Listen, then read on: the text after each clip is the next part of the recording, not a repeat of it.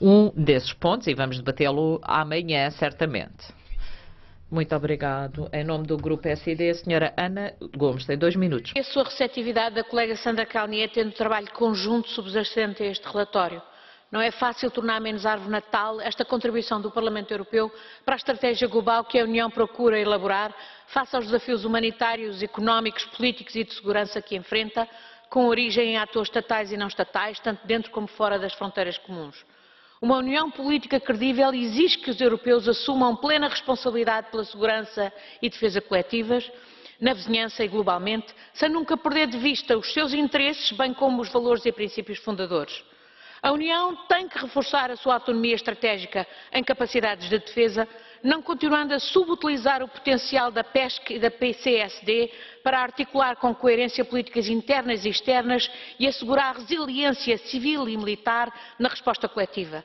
Só assim não falhará aos cidadãos, aos próprios parceiros, nos quadros da NATO, Nações Unidas, parceria UE-África e outros, como sublinhou de resto a Sra. Mogherini.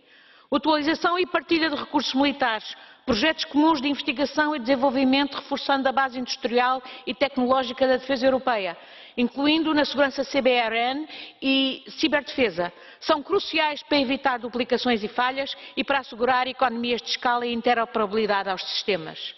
Combater o terrorismo e outras formas de criminalidade organizada é prioridade que nenhum Estado-membro pode prosseguir sozinho. Impõe partilha de capacidades nos setores da segurança interna e externa, em especial na intelligence, na polícia e na justiça.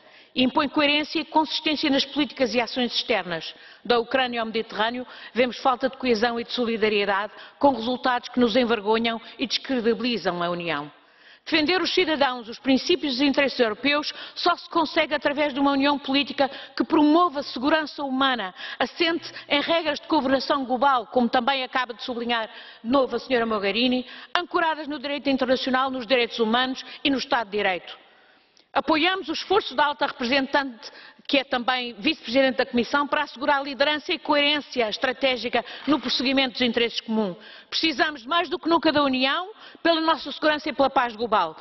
Nossa, nós rejeitamos a Europa das rivalidades e dos nacionalismos, que só pode significar guerra. Proszę mówców o. Peço, por favor, que respeitem o tempo de palavra. Muito obrigado. A senhora Fotiga, faça favor. Muito obrigada. Gostaria de chamar a atenção para o papel da cooperação transatlântico